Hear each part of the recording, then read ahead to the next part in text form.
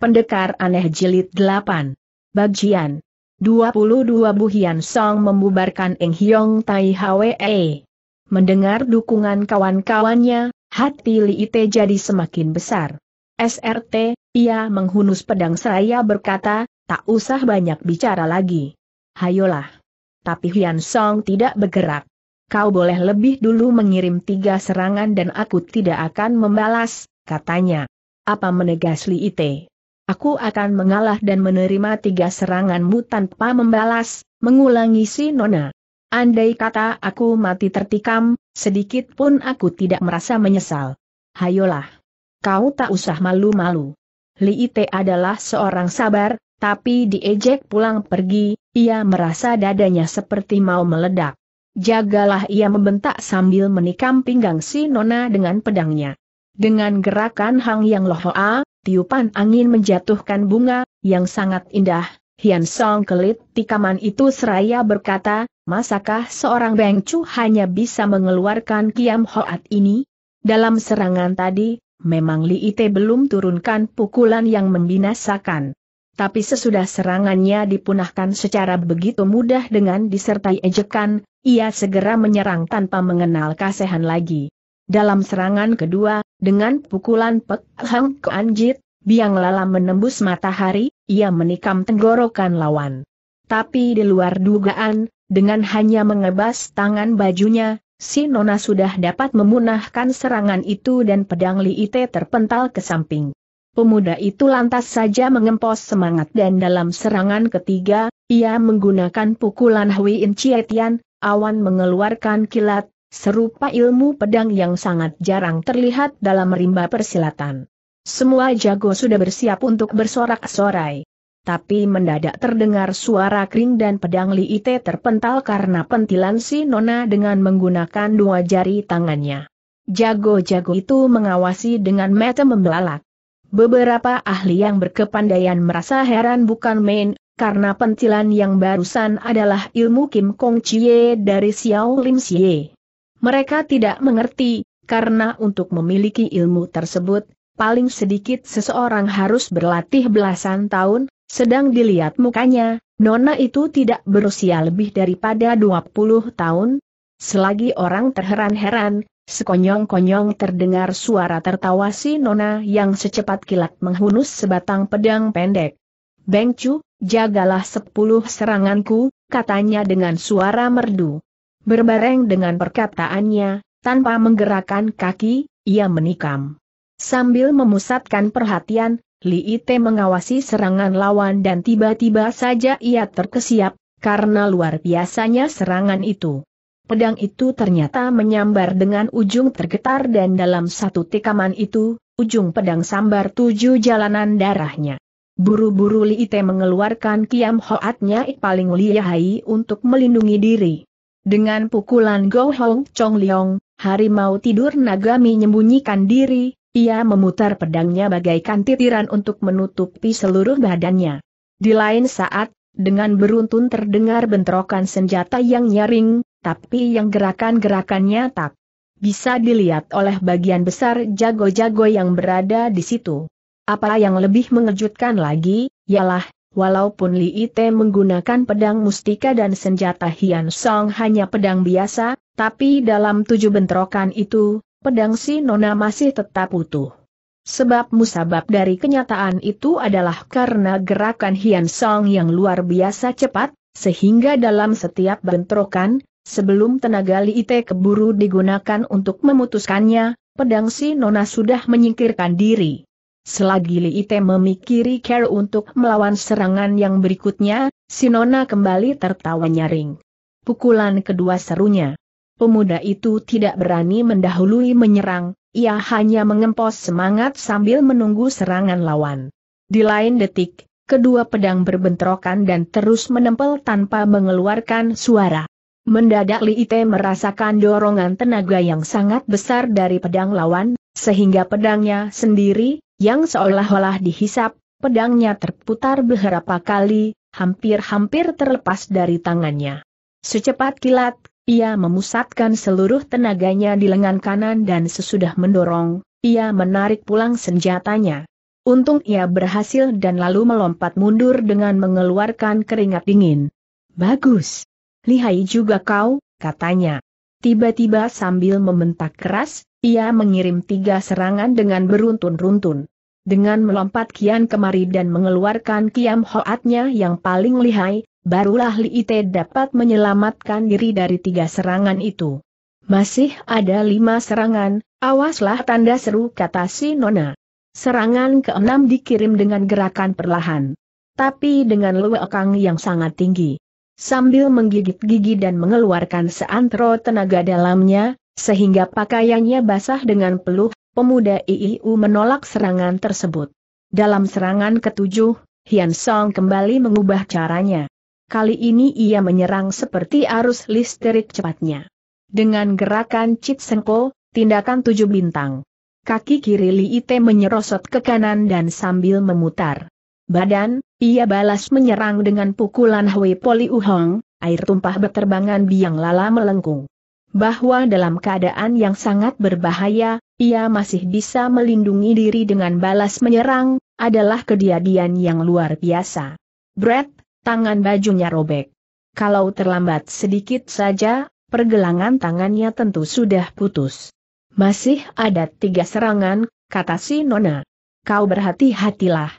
Kalau kau bisa menyambut tiga serangan lagi, aku akan berlutut di hadapanmu. Kalau tidak, huhau.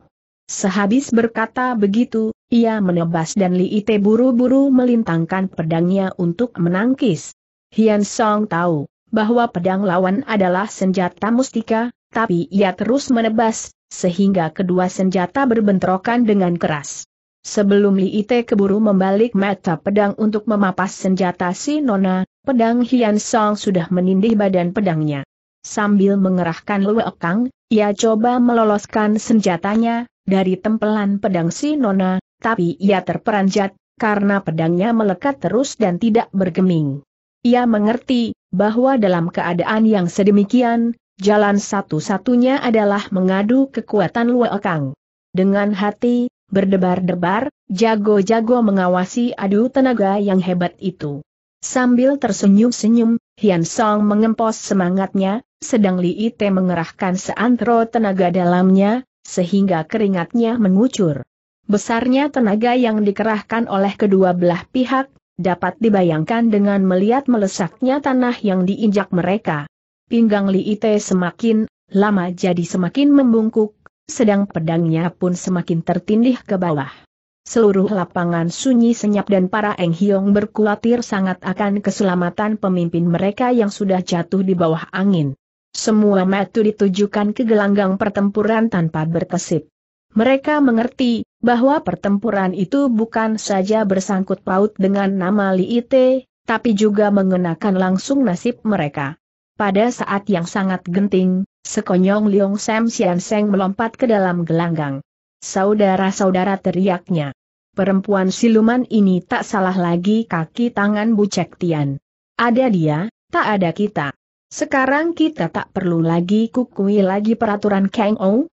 Kawan-kawannya mengiyakan dan dalam sekejap, Hian Song sudah dikepung oleh belasan orang. Kok Sin Ong jadi serba salah? Kalau ia menahan orang-orang itu, Li Ite memang sudah tidak dapat mempertahankan dirinya lagi dan jika pangeran itu roboh, semua jago yang hadir di situ, antaranya ia sendiri, harus mengundurkan diri dari dunia Kang Ou. Tapi kalau ia tidak mencegah pengeroyokan itu, ia sungguh harus merasa malu dengan kedudukannya sebagai Beng Chu. Di lain pihak, begitu lekas belasan jago meluruk, sambil tertawa nyaring, Si Nona menarik pulang pedangnya dan melompat mundur. Li Ite, yang sedang mempertahankan diri dengan mengerahkan tenaga Cian Kintui, jadi limbung dan hampir-hampir ya jatuh terguling. Sementara itu, Hian Song sudah melompat tinggi. Bagus. Hari ini aku mau menjajal kepandaiannya. Para Eng Hiong teriaknya sambil membabat ke bawah. Dalam sekejap, di gelanggang pertempuran terdengar teriakan-teriakan kesakitan. Pedang Sinona menyambar-nyambar bagaikan hujan angin dan dalam beberapa saat saja, ia sudah melukakan tujuh perampok. Ia turunkan tangan tanpa sungkan-sungkan lagi dan biarpun lukanya tidak membahayakan jiwa, sesudah sembuh, ketujuh penjahat itu akan jadi orang bercacat. Saudara-saudara teriak Liong Sam Sian Seng. Berendeng pundak. Hajar terus. Semakin lama jumlah pengepung jadi semakin banyak. Hian Song memutar pedangnya bagaikan titiran dan melompat kian kemari bagaikan secekor kera, tapi karena jumlah musuh terlalu banyak, maka, meskipun ia telah berhasil melukakan beberapa orang lagi, tak gampang-gampang ia bisa menoblos keluar dari kepungan.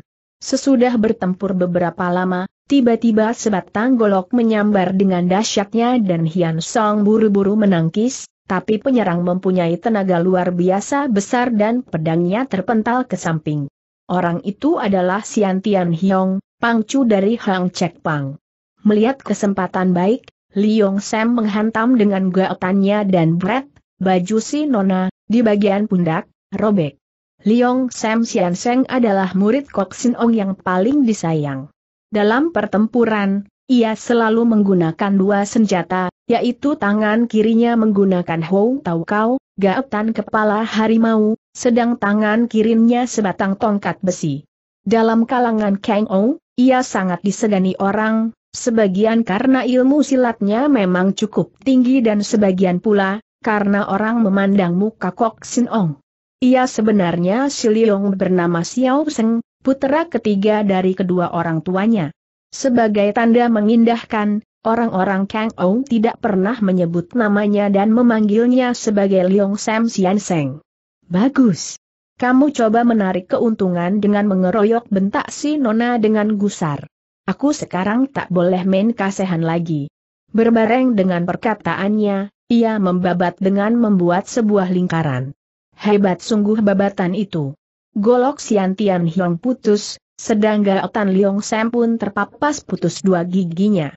Selagi dua lawannya melompat mundur, Hian Song meraba pinggang dan di lain saat, ia sudah mencekel sehelai selendang sutra merah. Dengan beberapa kali berkelebat saja tujuh delapan senjata sudah kena digulung, disentak dan dilemparkan ke tanah. Yo Chu, Kat Lioko, Teng Chiam Poe teriak Liong Sam Sian Seng. Hayolah bantu. Ketiga orang itu adalah pentolan-pentolan yang berkepandaian tinggi dan sebegitu lama mereka belum turun tangan, karena merasa malu dengan kedudukannya sendiri, jika mesti turut mengeroyok seorang wanita remaja. Sesudah diteriaki Liong Sam, mau tak mau, mereka terpaksa turun tangan juga, sehingga Bu Hian Song lantas saja terkurung di tengah-tengah gelanggang. Dengan sengit si Nona mengamuk dan menerjang ke sana sini. Kadang-kadang terdengar jeritan kesakitan atau terlihat terbangnya senjata, tapi karena jumlah pengepung terlalu besar, maka biarpun ia dapat merobohkan beberapa orang lagi, tidak mudah untuk ia meloloskan diri. Sesudah perkelahian berjalan beberapa lama lagi, tiba-tiba Hian Song bersiul nyaring beberapa kali, yang disambut dengan dua siulan dari dalam hutan, satu panjang dan satu pendek. Hektometer. Untuk membasmi kamu, aku terpaksa memanggil dua pembantu kata si Nona sembari tersenyum. Jago-jago itu kaget. Nona itu saja mereka belum mampu robohkan. Apalagi kalau dia dibantu oleh dua kawannya. Begitu lekas Yulan berhenti, dari sebelah kejauhan mendatangi dua bayangan manusia, yang, sesudah tiba di lapangan itu, ternyata adalah dua wanita muda juga. Titik. Perlu apa Xiaoqia memanggil kami tanya satu antaranya. Siang Koan Wan J yang menyembunyikan diri dalam rebung batu, segera kenali, bahwa mereka adalah budak-budaknya Bu Hian Song. Beng Chu, Jie, tolong bereskan senjata-senjata para Eng Hiong itu, kata si Nona. Eng Hiong Hwe dihadiri oleh seratus orang lebih dan di antara mereka, sebagian kecil sudah mengepung Hian Song, sedang bagian yang lebih besar menonton pertempuran itu. Mendengar perkataan si Nona, baru mereka tahu bahwa kedua gadis remaja itu adalah budak-budak yang diperintah oleh majikannya untuk merampas senjata mereka. Mereka adalah jago-jago yang ditakuti rakyat dan jarang sekali menerima hinaan seperti itu. Dengan gusar mereka segera menghunus senjata sambil berteriak-teriak, mari, mari. coba-coba rampas senjata kami.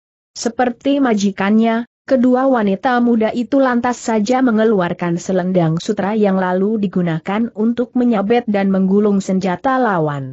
ILMU silat mereka tentu saja belum dapat menandingi kepandaian Hian Song tapi karena lawannya hanyalah ahli-ahli silat tingkatan kedua atau ketiga, sebab jago-jago yang paling lihai sudah mengepung Hian Song sendiri, maka baru saja bertempur beberapa jurus, banyak senjata sudah digulung dan dilemparkan ke tengah udara. Beberapa orang yang tidak keburu lari, sudah tertimpa senjata-senjata yang jatuh. Dalam sekejap keadaan di lapangan itu berubah kalut. Sambil tertawa nyaring, Hian Song memperhebat serangannya dan pedangnya mencecer beberapa orang yang lebih lemah, sehingga mereka terpaksa mundur beberapa tindak. Dengan menggunakan kesempatan itu, ia melompat keluar dari kepungan dan lalu mempersatukan diri dengan kedua budaknya. Dengan bekerja sama, ketiga gadis remaja itu sudah menghajar kalang kabut kawanan jago itu dan macam-macam seajata berserakan di atas tanah. Melihat perkembangan itu, Beberapa ahli silat kelas 1, seperti Kepala Kuil Pek Makaan Ui Hotojin, Chung Chuk Wien Chung Longki Ite dan lain-lain, yang tidak turut mengerubuti Hian Song, saling mengawasi sambil menghela napas. Hektometer. Eng Hiong Tai Hwe ini benar-benar menjadi sebuah lelucon, kata Ui Ho. Perlu apa kita berdiam di sini lama-lama, apa kita tidak merasa malu jika mesti bertempur dengan budak-budaknya gadis itu? Sehabis berkata begitu, ia segera berlalu bersama sutainya dan kemudian, beberapa orang lain pun meninggalkan lapangan dengan berutun. Dengan berlalunya jago-jago kenamaan itu, keadaan jadi semakin kalut, karena sebagian orang runtuh semangatnya dan pihak Li jadi semakin keteter. Liong Sam Sian Seng jadi kalap. Sambil berteriak keras, ia menerjang secara nekat. Hou tahu kau yang dipegang dengan tangan kirinya coba menggaet pergelangan tangan Beng Chu, sedang tongkatnya disabetkan ke pinggang Chia Ie. Kedua serangan-serangan itu yang dikirim dengan seantero tenaganya, hebat bukan main dan menyambar bagaikan kilat. Pada saat yang sangat berbahaya, Hian Song meloncat dan menyentak dengan selendangnya. Kedua senjata Liong Sam lantas saja tergulung dan terpental ke tengah udara. Sin Ona tak mau memberi kesempatan lagi kepada lawannya itu. Ia mengangkat pedangnya dan kes, tulang pundak Liong Sam putus. Hektometer. Dalam 30 tahun kau tidak akan bisa berkelahi lagi, kata Hian Song dengan suara dingin. Melihat begitu, semua orang jadi ciut nyalinya. Kok Sinong yang sedari tadi masih menonton pertempuran itu, rasakan dadanya seperti mau meledak dan mendadak, dengan jenggot dan kumis bangun berdiri bahna gusarnya, ia melompat ke tengah-tengah gelanggang. Aha! Lo Bengcu, Bengcu tua, akhirnya turun tangan juga kata Hian Song dengan suara mengejek. Aku merasa beruntung, bahwa hari ini aku bisa bertemu dengan seorang Eng Hiong yang namanya menggetarkan dunia. Semua mundur tanda seru teriak Kok Sin Ong sambil mengawasi Sinona dengan mata berapi. Siapa gurumu? Siapa kedua orang tuamu tanyanya dengan suara dingin. Hian Song tertawa geli. Aku bukan ingin merebut kedudukan Beng Chu, perlu apa kau menanya begitu melit katanya. Satu hal yang aku dapat beritahukan, ialah kedudukanku tidak seagung orang lain. Dengan orang lain, si Nona maksudkan Li Ite. Jika kau tak mau bertaukan, aku juga tak ingin memaksa, kata Kok Sin Ong dengan suara menyeramkan. Kita sekarang bertempur saja secara adil. Jika kau menang, dalam dunia Kang Ong tidak akan terdapat lagi seorang yang bernama Kok Sin Ong. Tapi kalau kau yang kalah, maaf Nona, aku akan habiskan ilmu silatmu. Sesudah menyaksikan kepandaian Hian Song, Kok Sinong merasa heran karena ia tak juga dapat menebak asal-usul ilmu silat si Nona. Maka itu, sebelum turun tangan, ia lebih dulu coba mendapat keterangan. Nona Bu yang dapat menduga jalan pikiran orang tua itu, lantas saja bersenyum seraya berkata, Bagus. Aku pun memang ingin sekali bisa belajar kenal dengan Lia Peng Kiam yang kesohor di kolong langit. Kau boleh legakan hati dan keluarkanlah seantero kepandaianmu. Aku tanggung guruku tak akan maju untuk membalas sakit hati. Hayo, hunus senjatamu. Sesudah kau menangkan kedua tanganku, baru aku gunakan pedang, kata Kok Sin Ong. Kalau begitu, marilah kata si Nona mengedut selendangnya yang lantas saja menyambar ke arah orang tua itu, Kok Sin Ong mementang lima jarinya dan memapaki selendang itu. Brett, selendang itu robek tapi tangannya pun sakit dan kesemutan. Sungguh lihai ilmu Kim Kong Chie itu memuji si Nona. Tiba-tiba, sambil menarik pulang selendangnya dan melompat, si Nona menikam jalanan darah Hang Ho Hiat, di belakang pundak Kok Sin Ong, dengan pukulan giok Li Choan Chiam, Dewi memasukkan benang ke lubang jarum. Kedua lawan itu sebenarnya berdiri berhadapan, tapi secepat kilat Hian Song sudah berada di belakang Kok Ong. Tapi orang tua itu pun memiliki ilmu liapin pohoat, tindakan mengejar lawan, yang tidak kurang lihainya. Hampir berbareng dengan berkelebatnya sinar pedang, ia sudah memutar badan dan mengirim tinjunya. Dengan diiringi suara merotoknya tulang, tiba-tiba lengannya mulur kira-kira setengah kaki dan tinjunya menyambar dari satu arah yang tidak diduga-duga. Tapi Hian Song tak kalah cepat, cepat otaknya dan cepat pula gerakannya. Begitu pedangnya menikam tempat kosong, begitu ia mengubah gerakan dan pada detik yang sangat berbahaya, kakinya menotol tanah dan, bagaikan walet menembus awan, badannya melesat dan meloloskan diri dari samping kanan Kok Sin Ong. Selagi badannya melesat, pedangnya sudah mengirim tiga tikaman dengan beruntun. Kok Sin Ong kagum bukan main. Nona itu bukan saja sudah bisa meloloskan diri dari serangan Tong Pai Kun, tapi dalam kelitannya itu, ia masih bisa balas menyerang. Pertempuran dilangsungkan terus dengan dahsyatnya. Beng Chu, Jiele mendadak Hian Song berteriak. Mengapa kau berhenti? Perlu apa kau berdiri seperti patung? Sesudah Kok Sinong turun tangan, pertempuran antara jago-jago lainnya dan kedua budak itu lantas saja berhenti, karena semua orang merasa ketarik dengan pertempuran yang baru terjadi. Mendengar seruan majikannya, Beng Chu dan Jiale lantas saja memutar lagi selendang mereka dan dalam beberapa saat, beberapa senjata sudah terbang dan jatuh di tanah. Sedang pertempuran berlangsung, seorang pemuda berjalan keluar dari gelanggang sambil menundukkan kepala. Orang itu bukan lain daripada Li Ite. La datang dengan semangat berkobar-kobar dan pergi dengan semangat runtuh. Andai kata Eng Hiong Eng Hiong itu dapat merobohkan ketiga wanita, kemenangan itu masih sangat memalukan, pikirnya. Ia tersadar dan kecewa bukan main. Sekarang ia mengerti, bahwa orang-orang yang hadir dalam Eng Hiong Tai Hwee, hampir semuanya adalah kawanan bebodoran yang ingin memburu kekayaan, sedang orang-orang yang benar-benar mempunyai kepandaian hanya beberapa gelintir saja dan mereka itu sudah berlalu tanpa pamitan lagi. Yang masih ketinggalan hanya Kok Sin Ong seorang yang dengan mati-matian masih coba menolong mukanya. Dengan demikian, Eng Hyong Tai Hwee yang semula begitu menggemparkan, pada akhirnya hanya merupakan sebuah lelucon. Mengingat begitu, hatinya dingin. Ia tahu, bahwa angan-angannya untuk menggulingkan Bu Cek Tian telah menjadi gagal dan ia berlalu dengan putus harapan.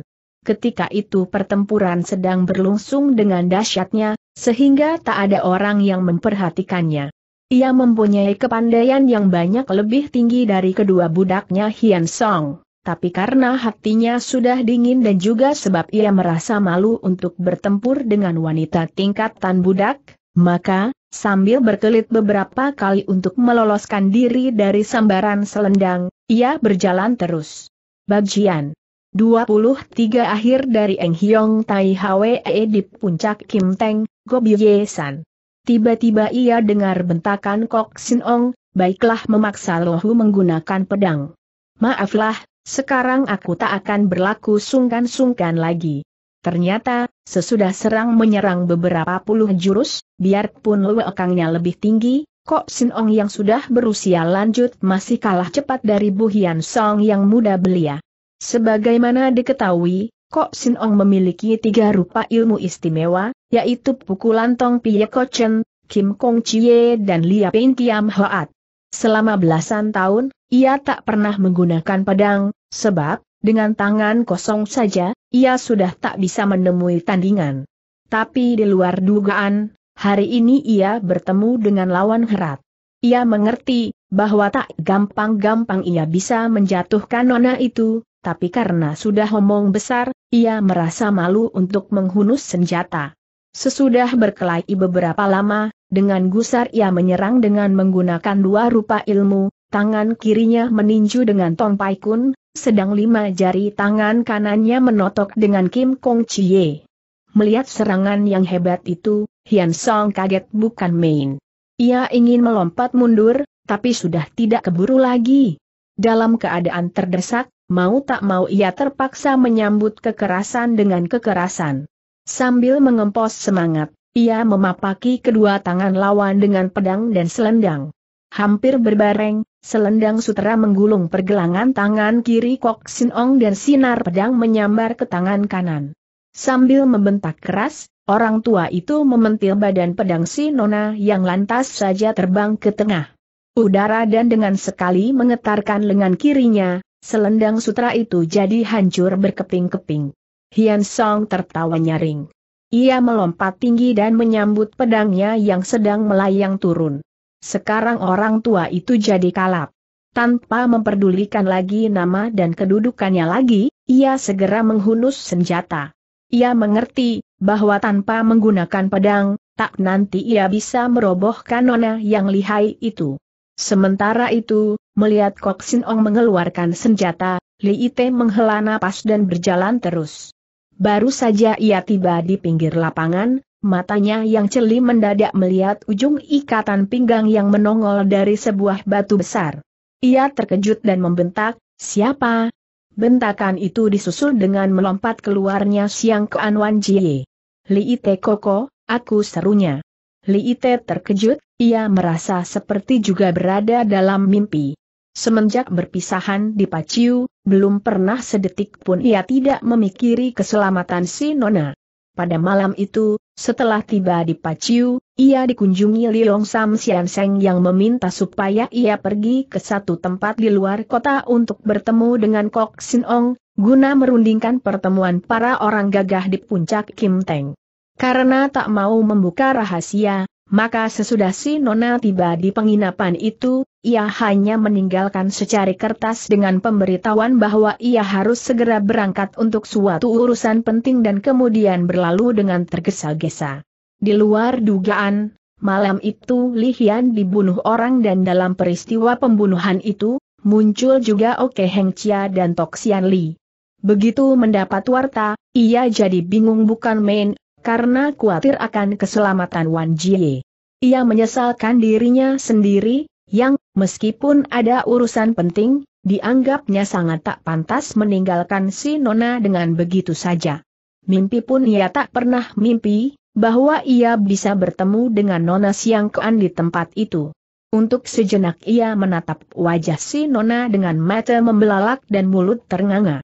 Sebelum ia dapat mengeluarkan sepatah kata, sekonyong-konyong menerjang seorang, yang, begitu berhadapan, segera menghantam pinggang Wan Jie dengan tinjunya yang sebesar mangkok. Orang itu adalah si Semibrono Hyong Kieteng. Ia menyerang karena menduga, bahwa Wan Jie adalah kawan Bu Hian Song yang sengaja bersembunyi di situ untuk mencegat Li Ite. Tahan bentak Li Ite dengan kaget. Tapi tinju yang sudah menyambar tak dapat ditarik kembali, sehingga dengan hati mencelos, Li Ite menotol bumi dengan kakinya dan badannya lantas saja melesat ke depan. Pada detik itulah, tiba-tiba berkelebat sehelai sutra merah, disusul dengan bentakan seorang wanita, siapa berani melukakan sahabat Xiaoqiaku? Dengan sekali berkelebat, selendang sutra itu sudah menggulung tubuh Yong Kieteng yang lantas saja terbang beberapa tombak jauhnya. Tapi Wan Jie sendiri tidak terluput dengan tinju si Sembrono, sehingga badannya bergoyang-goyang dan kemudian roboh di tanah. Wanita yang melontarkan Hiong Kieteng adalah Jiale, yang sambil menengok ke arah Li Ite, membentak dengan suara gusar, Beng Chu tak punya malu.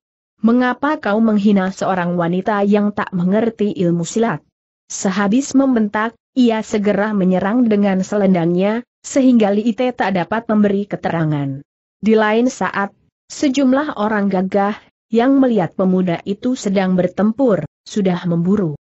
Siapa pun juga tak boleh mencelakakan wanita yang rebah di tanah teriak Li Ite. Terima kasih banyak atas kecintaan kalian, tapi aku tak berharga untuk menjadi bengcu. Hampir berbareng, ia mengenjot badan dan dengan melompati kepala Jiale, ia kabur ke atas gunung. Untuk sejenak, semua orang tertegun, karena mereka tak duga, pemuda itu benar-benar kabur. Di lain saat, sambil memutar selendangnya, Jie menyerang jago-jago itu yang sesudah bertempur. Beberapa lama, terpaksa mundur karena tak tahan melawan budak Hian Song yang sangat lihai. Sesudah kabur beberapa lama, Li Ite menghentikan tindakannya dan mengawasi ke bawah, di mana Sinong dan Hian Song sedang bertempur dengan menggunakan pedang. Dalam sekejap Kok Sinong dan Bu Hian Song sudah bertempur lebih dari seratus jurus. Dengan menggunakan tiga macam kepandaiannya yang paling istimewa, yaitu tinju, pedang dan totokan jari tangan, orang tua itu menyerang bagaikan angin dan hujan. Tapi si Nona pun tidak kurang lihainya. Dengan gerak-gerakan lincah dan mantap, bagaikan naga bermain-main di tengah lautan, ia memutar pedang seperti titiran cepatnya. Sebagai bengcu dari rimba persilatan, selama sepuluh tahun Kok Sin Ong tak pernah menggunakan senjata. Sesudah menjadi bengcu, hari ini adalah untuk pertama kali ia bertempur dengan menggunakan pedang dan, yang lebih memalukan lagi, lawannya adalah seorang wanita muda belia. Maka itu, sesudah lewat lagi sekian jurus, dengan gusar tiba-tiba ia menyerang dengan menggunakan seantero lewekangnya. Sambil mengempos semangat, si Nona menangkis. Bentrokan antara kedua senjata itu mengeluarkan suara nyaring dan kedua lawan melompat mundur untuk memeriksa senjata mereka. Hian Song kaget karena pedangnya somplak. Si tua benar-benar lihai, luekangnya lebih kuat daripada aku, katanya di dalam hati. Sinong pun tidak kurang kagetnya. Waktu menyerang, ia sudah menghitung masak-masak, bahwa pedang lawan pasti akan terbang karena pukulan yang dahsyat itu. Ia tak nyana, bahwa nona itu masih dapat mempertahankan diri. Di lain saat, mereka sudah mulai bertempur pula secara lebih hebat daripada tadi. Selagi pertandingan berlangsung dengan dahsyatnya, tiba-tiba terdengar teriakan luar biasa yang menyerupai aum harimau. Kok Sin Ong terkesiap. Di lain saat terdengar suara tertawa berkakakan, disusul dengan suara seorang, Kok Lao Tue, sudah sepuluh tahun kita tidak pernah bertemu muka. Bagaimana dengan Kiam Hoatmu? Aku datang untuk menengok kau. Berbareng dengan perkataan itu, di tengah lapangan berdiri seorang yang mengenakan jubah panjang warna hijau dan mukanya pun bersinar hijau. Ia berusia kira-kira 50 tahun dan pada dagunya terdapat beberapa lembar jenggot panjang. Dilihat dari macamnya, ia masih muda daripada Kok Sin Ong, tapi mengapa ia memanggil Beng Chu itu dengan panggilan Lao Tue, adik? Semua mata mengawasi orang itu dan entah mengapa, muka si jubah panjang menimbulkan rasa tidak enak di dalam hatinya semua jago itu. Sementara itu, paras muka Kok Sin Ong segera berubah merah. Sesudah menonton beberapa saat, orang itu berkata dengan suara nyaring, Kok Sin Ong selalu membanggakan ilmu pedang Liapin Kiam Hoat. Tapi aku khawatir, nama itu hanya nama kosong dan ia akan ditertawai oleh segenap orang gagah dalam dunia Kang Ou. Mendengar ejekan itu, muka Kok Beng Chu jadi semakin merah. Orang itu bernama Huput Giet, seorang nensu, orang yang mengundurkan diri dalam pergaulan, yang adatnya aneh. Dulu, ia bersahabat dengan Kok Sin Ong, tapi karena pada suatu hari ia mencelah ilmu pedang Beng Chu itu, maka persahabatan itu menjadi renggang dan selama sepuluh tahun mereka tak pernah bertemu muka. Secara kebetulan, hari ini mereka bertemu pada waktu Kok Sin Ong sedang bertempur mati-matian untuk mempertahankan nama baiknya. Diejek begitu rupa, Kok Sin Ong jadi gusar tercampur malu. Dalam pertempuran antara jago dan jago, pantangan paling besar adalah terpecahnya pemusatan pikiran dan semangat. Maka itu, begitu ia bergusar, ilmu silat Kok Sinong lantas saja mulai kalut. Sesudah lewat beberapa jurus lagi, tiba-tiba pedang si Nona menyambar kepala Kok Sinong bagaikan kilat cepatnya. Dengan hati mencelos, buru-buru si kakek menundukkan kepalanya dengan gerakan hang-hang tiam tau, burung hang memanggutkan kepala, dan pedang lewat hanya dalam jarak setengah dim dari kulit kepala. Huput Gie tertawa terbahak-bahak. Aduh! Hampir saja kulit kepala si tua terpapas teriaknya. Sekarang dia sudah memberi hormat kepada God Bie dengan menundukkan kepala. Hian Song tertawa geli. Keangkeran Beng Cumusna disapu air, sehingga menggelikan hati Tian San Huput Gie. Mendengar perkataan si Nona, semua jago jadi kaget. Sudah lama mereka mendengar nama Huput Gie, tapi baru sekarang mereka lihat wajah pendekar aneh itu. Kok Sin Ong pun tidak kurang kagetnya. Celaka. Mereka berdua ternyata mengenal satu sama lain, ia mengeluh. Sungguh besar nyali bocah perempuan itu yang sudah berani memanggil namanya, karena hatinya kalut, Kiam Hoatnya pun jadi semakin kalut dan ia terpaksa berkeiahi, sembari mundur. Huput Gie kembali tertawa nyaring. Kok Lao Tue, kau sudah kalah, perlu apa berkelahi terus katanya dengan suara mengejek. Paling baik kita minum arak. Melihat beberapa pentolan rimba persilatan sudah berlalu, bahkan Li Ite sendiri sudah menyingkirkan diri, semangat Kok Sinong lantas saja runtuh dan hatinya tawar. Sesaat itu juga, Sambil menangkis pedang si Nona, ia melompat keluar dari gelanggang dan lalu lari turun ke bawah gunung. Hei! Tunggu teriak Uput Gie. Hai! Kau tak mau tunggu aku? Baiklah. Mari kita adu ilmu mengentengkan badan. Sambil tertawa hahaha, ia segera melompat dan mengejar Kok Sin Ong. Kedua orang itu memiliki ilmu ringan badan yang sangat tinggi, sehingga dalam sekejap mata, mereka sudah tidak kelihatan bayang-bayangannya lagi. Sesudah Beng Chu lama dan Beng Chu baru kabur, keadaan jadi kalut dan jago-jago itu lantas saja bergerak untuk menyingkirkan diri. Beng jale seru nonabu. Musnahkan ilmu silat Teng Hiong Ngeng Hiong besar itu. Baiklah kata kedua budak itu yang lantas saja melompat ke sana sini sambil memukul atau menotok jalanan darah jago-jago itu. Sambil berteriak-teriak, Mercka lari lintang pukang seperti diubar setan. Hian Song tertawa geli dan beberapa saat kemudian, ia berteriak, Sudahlah. Biarkan mereka pergi. Beng Chu, coba kau tolong Siang Kean Mo Ai Chu. Dengan hati duka, Li Ite menyaksikan cara bagaimana Eng Hyong Tai Hwe telah dihancurkan oleh Bu Hian Song. Tak salah, dalam pertandingan ini aku kalah, katanya sambil menghela napas. Aku bukan dikalahkan oleh wanita itu tapi oleh Bu Cek Tian. Selagi melamun, sekonyong-konyong ia lihat Bu Hian Song mendaki gunung.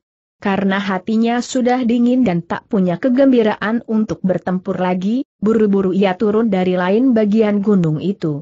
Sementara itu sesudah diurut oleh Beng Chu, perlahan-lahan Wan Jie tersadar dari pingsannya dan kemudian, karena lelah, terjatuh, ia jatuh pulas. Ia mendusin pada besok harinya, kira-kira tengah hari. Sesudah ingatannya pulih, ia membuka kedua matanya dan ternyata, ia berada seorang diri di tengah-tengah lapangan rumput itu. Sambil mengawasi macam-macam senjata yang terserak di sekitar lapangan itu, ia menghela napas dan berkata dalam hatinya, ke mana perginya Bu Hian Tiong? Tanda tanya. Mengapa sesudah menolong, ia tinggalkan aku seorang diri delit cempat ini? Mendadak, secara tidak disengaja, matanya lihat beberapa baris huruf yang ditulis dengan ujung pedang di atas kulit pohon. Empat baris huruf itu yang merupakan sajak, berbunyi seperti berikut. Benar dan salah sukar ada perbedaan, tulen atau palsu akhirnya akan ketahuan, sekarang untuk sementara kita berpisahan, di lain hari ku mengharap suatu persatuan. Wan Jie yang sangat cerdas segera dapat menangkap maksud Bu Hian Song. Pada zaman itu, rakyat Tiongkok terpecah jadi dua golongan, yang satu menentang dan yang lain mendukung Bu Cek Tian. Wan Jie berada dalam golongan yang pertama, sedang Hian Song dalam golongan kedua.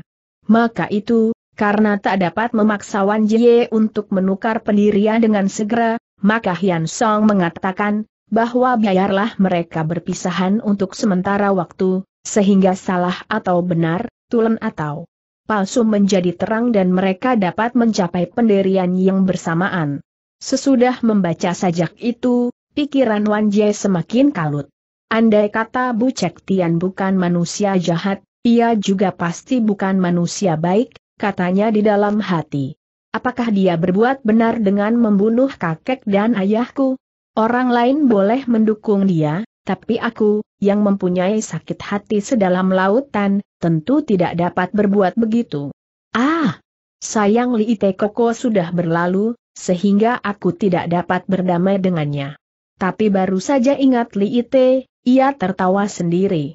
Ia yakin, bahwa perundingan dengan pemuda itu tidak akan menghasilkan apa pun jua, karena, biarpun mereka sama-sama membenci Bu Cek Tian, sebab musabab kebencian itu adalah sangat berlainan. Ia meraba-raba pisau belati yang berada dalam kantong senjata rahasia. Segera juga, ia ingat pesan Tiang Sun Kun Liang. Ah, perlu apa aku menarik-narik tangan orang lain? Tanda tanya katanya di dalam hati aku harus berusaha dengan tenaga sendiri. Jika dilindungi oleh Tuhan, dengan sekali menikam, aku dapat membalas sakit hati orang tuaku. Memikir begitu, dengan tekad yang lebih teguh, ia segera meneruskan perjalanan ke kota Tiang'an.